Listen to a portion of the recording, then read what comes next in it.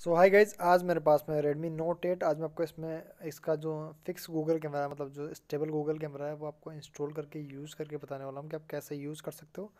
फ़िलहाल के लिए मैंने इसकी लिंक आपको डिस्क्रिप्शन में दी हुई है और इसमें आप टाइम लेप्स से लेकर पोर्ट्रेट से लेकर सारी चीज़ें स्लो मोशन वगैरह यूज़ कर सकते हो। यहाँ पर फ़ोटोज़ वगैरह भी कैप्चर कर सकते हो। आप पोर्ट्रेट मोड में जाएँ तो वो भी आप यूज़ कर सकते हो, उसमें भी आपको कोई भी दिक्कत नहीं होगी। साथ में आपको फ्रंट कैमरा भी यूज़ करना है तो वो भी आप यहाँ पे यूज़ कर सकते हो। मतलब आपको कोई भी इशू नहीं होगा यूज़ करने में। और यहाँ पे फ़ोटो मोड में भी आप कर सकते हो। वीडियो भी आप कैप्चर कर सकते हो। वीडियो मैं यहाँ पे बना रहा हूँ तो आप देख सकते हो वीडियो भी यहाँ पे कैप्चर हो रही है।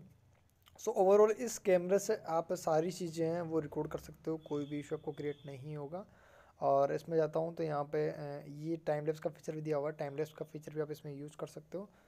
और टाइम लेप्स में काफ़ी सारी सेटिंग्स भी दी हुई है वन एक्स टू एक्स या फाइव एक्स टेन एक्स या तीन सौ एक्स तक भी इसे यूज़ कर सकते हो। साथ ही में आपको यहाँ पे कुछ और फीचर्स भी दिए हुए हैं, जैसे कि यहाँ पे portrait mode panorama mode lens blur mode सारी चीज़ें आप यूज़ कर सकते हो और फ़ोटोज़ वगैरह भी यहाँ पे कैप्चर हो चुकी है। अब चलते हैं, यहाँ एक मोड दिया हुआ है, जो कि स्लो मोशन का मोड है, वो भी आपको बता देता हूँ मैं, कि कैसे वो वर्क कर रहा है या नहीं कर रहा है। यहाँ पे आप, मैंने इसको कैमरा ओपन कर लिया। अब मैं जाता हूँ स्लो मोशन में।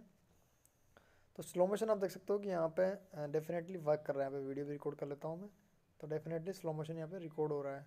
तो कोई दिक्कत नहीं है, आप ऐसा रिकॉर्ड कर सकते हो वीडियो अगर वीडियो अच्छी लगे तो लाइक कर देना शेयर कर देना और सब्सक्राइब कर देना। Thank you for watching this video